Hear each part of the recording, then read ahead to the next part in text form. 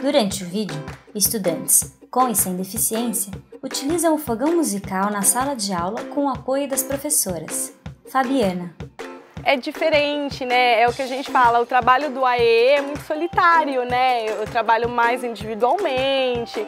Então, de repente, ver esse coletivo, ver o Maurício no meio das crianças, ver o divertimento dele, foi maravilhoso, né? Eles super curtiram, eles super brincaram, todos ajudaram o Maurício, eles entenderam né, que tinha que ter já essa relação de ajuda mútua. Então foi muito gostoso, eu adorei. Diversa apresenta materiais pedagógicos acessíveis. Aplicação do material nas escolas, fogão musical. Sentados em roda, estudantes interagem com miniaturas, ilustrações e vegetais reais. Meu nome é Luciene de Jesus Amorim Tavares, eu sou professora né, do infantil aqui na escola Almerinda Monteiro de Carvalho. Eu sou a professora Fabiana Almeida Souza, sou professora de AE da escola da UME Almerinda. Luciene. Nós, aqui da UME Almerinda, desenvolvemos um jogo chamado Fogão Musical. Fabiana. A ideia surgiu porque a gente tem um aluno que ele tem síndrome de Down.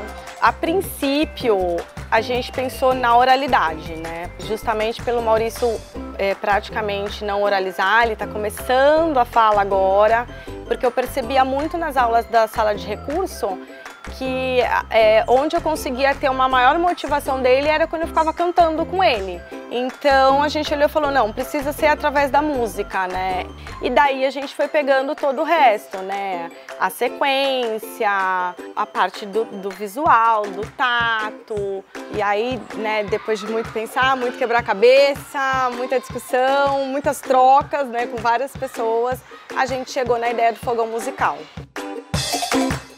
Luciene explica as regras do jogo para os estudantes. Agora a gente vai começar um jogo. A gente vai trabalhar com esse fogãozinho. O nome desse fogão é fogão musical. Cada botãozinho vai falar as palavrinhas da música.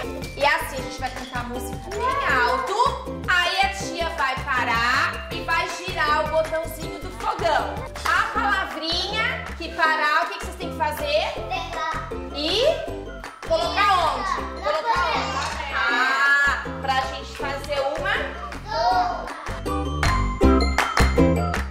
Fabiana. As crianças gravaram a, a, com a vozinha das crianças as palavras, então cada vez que você gira o botão, fala uma palavra da música. Luciene gira um dos botões do fogão. Estudantes buscam o agrião no centro da roda. Estudante coloca o agrião dentro da panela e comemora. Mariana Bernardo, estudante. Ele parecia um fogão de verdade. Ela falava feijão, tomate, jacaré, minhoca. Bernardo Cleto, estudante. Tomate, caqui, javali, caminhão, é, rabanete, berinjela, balinha, farinha, sabão em pó, alho poró. Quando eu cheguei com o fogão, eles ficaram encantados, né? Porque é um material que, que é diferente, que chama atenção, que brilha os olhos. E eu fiz de duas formas diferentes. Então, fiz primeiro com o uso das imagens, né? Para eles verem o que, que representava cada imagem. E fiz utilizando o material dentro do possível o verdadeiro. Então, a mandioca, o tomate, o agrião, o espinafre. Então, eu acho que essa parte foi muito interessante, assim, trazer o, o concreto, né? O alimento mesmo. Luciene mostra um vegetal para ser identificado pelos estudantes. Berinjela. Fabiana. Sim, eu percebi que as crianças tiveram uma motivação muito maior com os, os alimentos mesmo, né, ali propriamente ditos, do que com as imagens. Para as crianças é importante, né, o, o pôr a mão, o conhecer o alimento, eu acho que foi bem bacana. Luciene. A gente pode trabalhar a questão da alimentação saudável também, eles fazerem a seleção, o que, que pode ir na sopa, o que, que não pode ir na sopa, né? o que, que é de comer, o que, que não é de comer. Daquilo que é de comer, o que, que é saudável, pirulito, né? Então, a alimentação, a oralidade, a sequência. A criança tem que ter a memória da sequência, da música, o ritmo. a rima. João Miguel de Oliveira, estudante. Eu aprendi que não pode colocar negócio que não tem na sopa.